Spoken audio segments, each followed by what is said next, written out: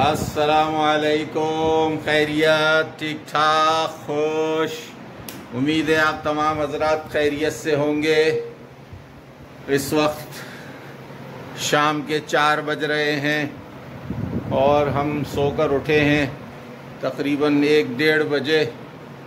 उसके बाद उठ के नाश्ता वाश्ता किया है। खूब सलावातें सुनाई गई हैं उठाने के लिए कि उठ जाओ। बहुत सारे काम करने सबसे अहम और बड़ा काम जो था वो हुसैन के चश्मे का था। उसके बाद दूसरा जो अहम काम था वो चार्जर का था। तीसरा जो अहम काम था वो पीटीसीएल का था। और उसके अलावा चौथा जो काम था वो ये पता नहीं क्या होता है, चूल्हे के ऊपर जो लगा होता है, इसका पंखा नहीं चल रहा है। ये एक काम है। तो अभी हमने सुबह से अब तक, सुबह से क्या, दो बजे के बाद काम वाम शुरू किया। तो हमारा जो है वो पीटीसीएल का काम आधा हो गया है। जिस दिन हम कोयटा पहुँचे थे, कोयटा से कराची पहुँचे थे, उस दिन से हमारा नेट ख़राब है और अभी तक ख़राब है। तो अभी वो आया था, पाँच दिन से मुसलसल शिकायतें कर रहे थे तो अब जाके वो, ये पता नहीं क्या P T C L flash fibre लगा कर गया है दिखाता हूँ आपको। ये लगा कर गया है अभी सिर्फ़ ये एक फुलंतरू है और एक ये पी टी सी एल का पता नहीं क्या ये लगा कर गया है। इसका कनेक्शन भी अभी तक नहीं हुआ है। इसके कनेक्शन के लिए वो कह रहा है कि वो बंदा आएगा वो आके लगाएगा। अब उस बंदे का इंतज़ार हो रहा है कि वो कब उसके बाद जो है वो जब वो बंदा आ जाएगा तो वो कनेक्शन करेगा तो फिर जो है वो हमारा ये पीटीसीएल चलना शुरू हो जाएगा। तो यानी ये हमारा नेट चलना शुरू हो जाएगा। हमें अपने ब्लॉग डालने के लिए भी जो दूसरों के घर जाना पड़ रहा है। एक तो सत्रह अट्ठारह दिन हमारा ब्लॉग नहीं डला। उसकी ये बंदा है वो उसकी वजह। इस बंदे की वजह से हमारा सत्रह अट्ठारह दिन ब्लॉग नहीं डला। ये हुसैन भाई है हमारा। इसी को हमने सारे काम सिखाए हैं अपने ऑडिटिंग वगैरह ऑडिटिंग होती है, क्या होती है? वो करने के एडिटिंग वगैरह करने के, इसी को हमने सिखाए, मैंने खुद नहीं सीखे। तो अब ये अपनी खाला के घर जाके बैठ गए थे। तो इस वजह से हमारा ब्लॉग नहीं डाला। ऊपर से जिस के थ्रू हमारा ब्लॉग डलता है, हम हम गरीब लोग हैं, मोबाइल के ज़रिए से ब्लॉग डालते हैं। वो जो है, वो मोबाइल हमारा कोयटा आ गया था। तो इस वजह से भी ब्लॉग नहीं डाला। ये बहुत सारी वजूहत थी जिसकी वजह से सत्रह अट्ठारह दिन हमारा ब्लॉग नहीं डाला। फिर जैसे ही हम लोग सारे साथ शामिल हुए उस दिन से हमने ब्लॉग डालना शुरू कर दिया। आपने देख लिए होंगे कि तीन ब्लॉग हमारे लगातार आ गए हैं।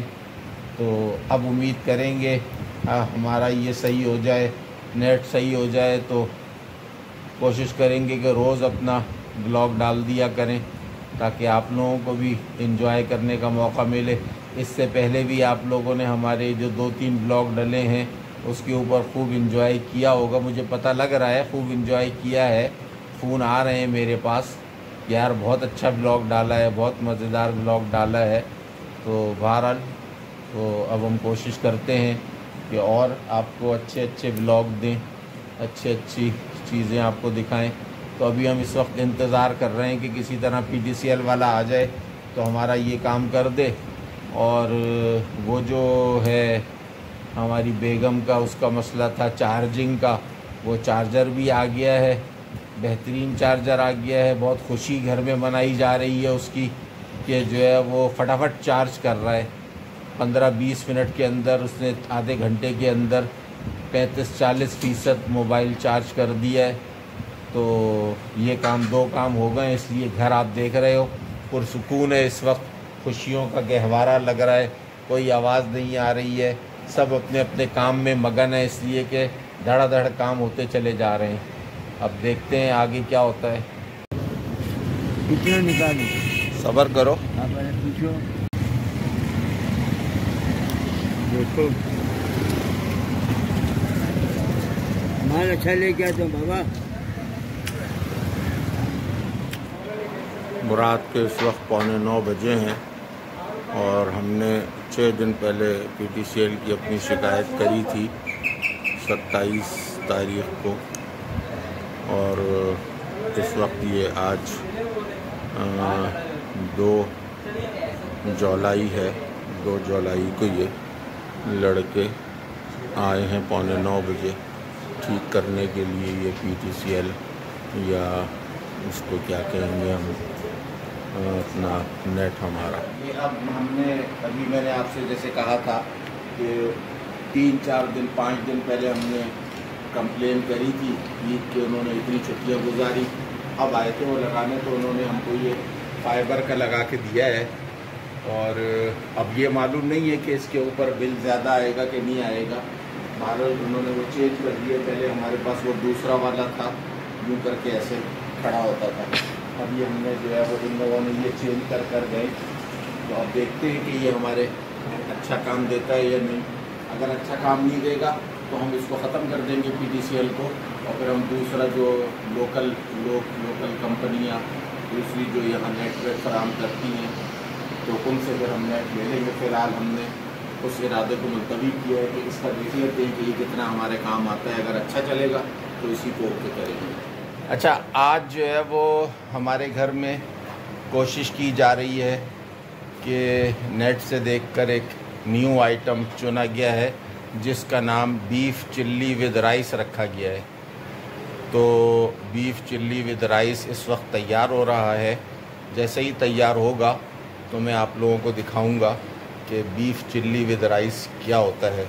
बज़ाहिर नाम से तो ये ऐसा लग रहा है जैसे चाइनीज़ खाना है अब जब बन के तैयार होगा तो पता चलेगा कि ये चाइनीज़ खाना है या आम सा खाना है, जो जिसका नाम बस ऐसा रख दिया है। जब तैयार होगा तो मैं आपको दिखाता हूँ फ़ौर तैयारी के आखिरी मराहल के अंदर है। तो देखते हैं अब मज़ीद कितना वक्त लगता है। कहा तो यही गया है कि पंद्रह बीस मिनट में तैयार हो जाता है। जब तक इंतज़ार करते हैं, आप भी वेट करें। तो ये हमारा खाना तैयार हो गया है। ये हमारा फ्राइड राइस और बीफ ड्राई चिल्ली बना है। अब हम खाते हैं और देखते हैं कि ये कैसा बना है। खा के बताएँगे आपको। खा के निकल बताएँगे, बस आज टाइम नहीं है हमारे पास। तो हम कल आपको बताएँगे कि ये कैसा बना है। शीर खोरमा भी आज बना है तो हम शीर खोरमा वैसे तो ईद के दिन बनता है, लेकिन ईद के दिन नहीं बन सका क्योंकि दावतें चल रही थी। तो आज शीर खोरमा बनवाया अच्छा जी तो हम लोग अब खाना वाना खा के फारग हो गए हैं और खाने के अंदर जो टेस्ट है वो बहुत अच्छा था।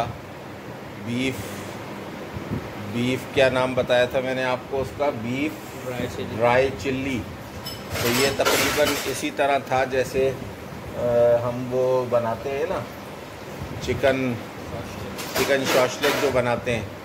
तो उसी तरह का जायका आ रहा था बस ये कि इसके अंदर बीफ था। जायका तकरीबन उससे मिलता जुलता था अच्छा था।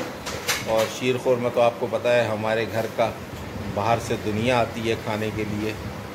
तो उसकी तो खैर बात ही निराली होती है। और ये आज सुबह से जो काम थे, उनमें से एक काम ये भी था। हुसैन भाई का हमारे चश्मा भी है, नया तैयार हो गया है। आप देखें इसको करीब से। न्यू लुक, नया चश्मा। तो आज का ब्लॉग फिर हम यहीं ख़त्म करते हैं, क्योंकि काफ़ी चीज़ें इसके अंदर आ गई हैं। आप लोग देखो इन बहुत मज़ा आएगा। और इसको लाइक भी करो। वैसे अब लाइक करना शुरू कर दिया है। पब्लिक में मैं देख रहा हूँ कि काफ़ी लाइक्स आना शुरू हो गए हैं। तो सब्सक्राइब भी करें और शेयर भी करें। और कमेंट्स भी अब करना शुरू कर दें। अभी तक कमेंट्स इतने नहीं आ रहे हैं। तो हमारी गलतियाँ बताएँ ताकि हमारी गलतियों की निशानदेही हो तो हमें पता चले कि हमने मज़ीद और आगे इसको कैसे बेहतर करना है। तो अगले ब्लॉग तक के लिए इजाज़त। अल्लाह हाफिज़।